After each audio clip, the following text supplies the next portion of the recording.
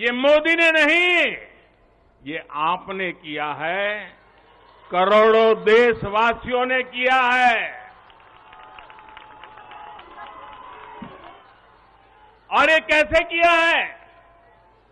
उसका एक सबसे बड़ा कारण है, देश की जनता ने, देश के मतदाताओं ने, विशेष करके मेरी माताओं, बहनों ने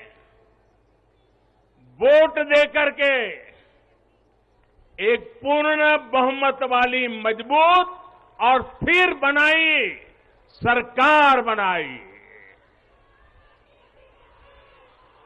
और उसी का कारण है, आपने जो सरकार को मजबूती दी, आपने जो सरकार को बहुमत दिया, उसी की ताकत है। कि आज ये सरकार फैसले भी ले पा रही है और संसद में जाकर के तीस साल से लटके हुए काम को भी पूरा कर पा रही है और इसलिए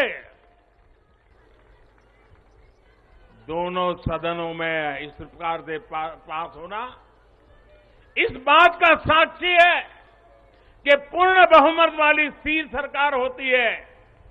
तो देश कैसे बड़े फैसले लेता है? कैसे पड़ावों को पार करता है? जब देश में पूर्ण बहुमत वाली सरकार आई तो इतना बड़ा काम हो पाया।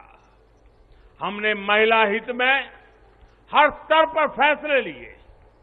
किसी के राजनीतिक स्वार्थ को महिला आरक्षण के सामने दीवार नहीं बनने दिया।